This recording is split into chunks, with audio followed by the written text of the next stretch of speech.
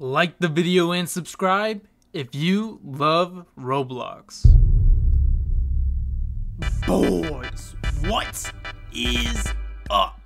Welcome back to another video, guys. And inside of this video, we're actually going to be going over the end of this game, alright, inside of Build a Boat for Treasure Roblox. So make sure you guys all stay tuned through this video so you guys do not miss a single thing, alright? And of course, I am just being a little bit dramatic, okay, because, you know, obviously Build a Boat's not entirely dead. Um, I believe there's like 17,000 people playing it right now, which is a huge amount of people. But I do have a lot of important information to actually go over. So anyway, make sure you guys all hit the like button, subscribe, and of course turn on those notifications that way guys do not miss a single upload on the channel A single update is that of a charger. We now got somebody new up in the family. Their name is M from Alphabet Lore. Congratulations, M from Alphabet Lore, for actually getting their name up in the family. If you guys actually do want your name to get up on the panel, all you guys need to do is hit that like button, subscribe, and then, of course, leave a comment down below. And, of course, without further ado, uh, let's jump straight into this video, guys. Alright, guys, so this is gonna come to no surprise to you guys, but Build-A-Boat has actually not had an update in quite a long time.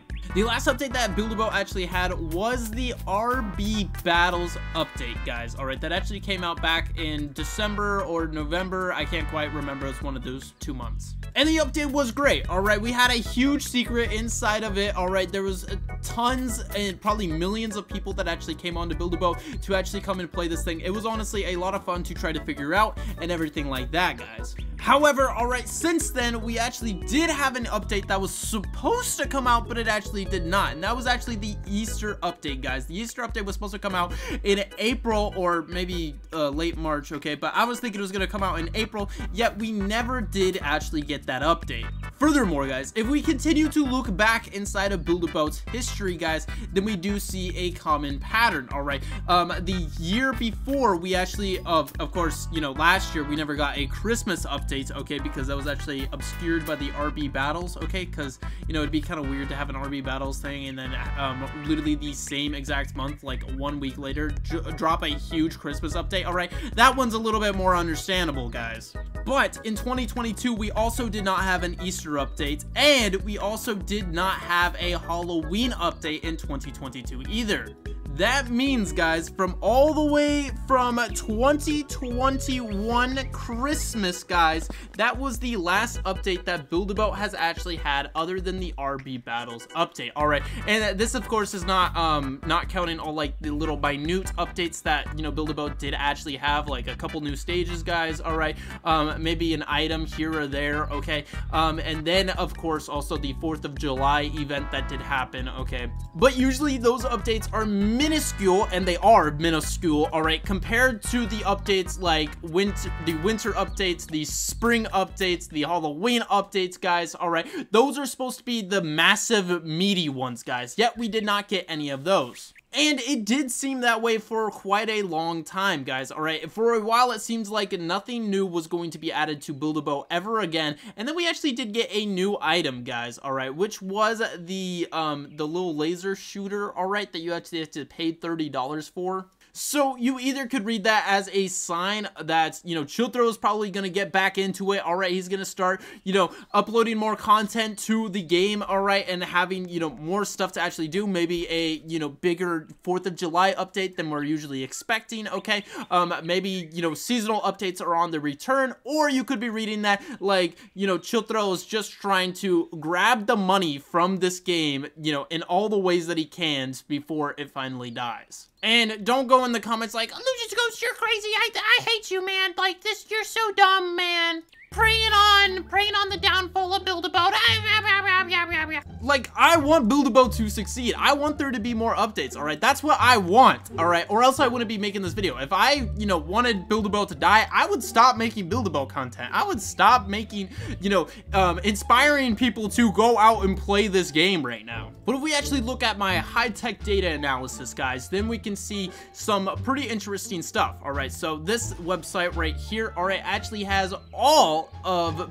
um, any of the analytics for Build-A-Boat for Treasure, or basically any game on Roblox. All right, it has it all. All right, including the amount of upvotes, down votes, average play time. Like, how did they even figure that out? Okay, and you know, so on and so forth. And particularly, what we're going to be looking at the player count. So right now, um, I guess we can refresh the page. Oh, it went up 17,255, which is a lot of people, guys. Don't get me wrong. That is a ton of people. But if we actually look down here at the charts, this shows the player count for the month of May and a little bit into April, guys, okay?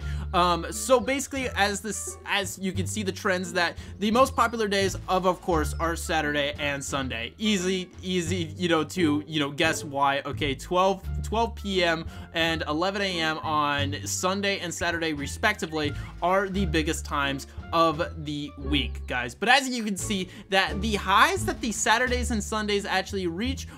are not as high as they used to be, guys. They used to be much, much higher, and also the lows of the normal week, guys, are actually falling as well. So it follows this, you know, pattern, but as you can see, the numbers that it's actually getting keep getting lower and lower, all right? And also, I don't know why the like percentage is dropping. Like, I, I don't, I don't get why that's, you know. And not only that, guys, all right, from the new visits, look at this, guys, all right? We can see that this is also dropping as well. So um, these are all of the new visits, all right, not the concurrent players, but the new visits, okay? So all of the people that are trying Build a Boat for the first time, as you can see, it is continuously dropping off, all right? So the the amount of new people coming to the game are getting smaller and smaller as the weeks go on. Of course, you don't have to be, you know, some big data analysis to try to figure out why this is actually happening, guys, all right? It is very, very obvious why this is happening, and that is because we haven't had an update come out in a very, very long time, all right?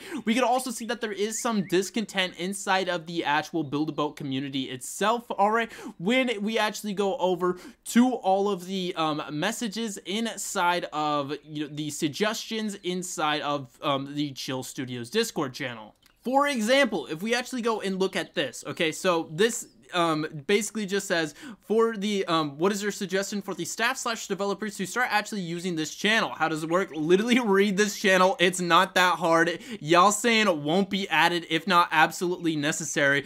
Completely completely shuts down the entire purpose of this channel. This channel is about suggesting ideas, not that are absolutely necessary, but features that the community wants, all right? And this thing got 112 upvotes, and probably the reason why they um, deemed the stuff absolutely necessary is because they simply, or not they, all right? I don't want to put all of the developers into a box because um, Build-A-Boat has a lot of developers and, you know, bunch of people and contributors, all right? Look at the list of contributors contributors.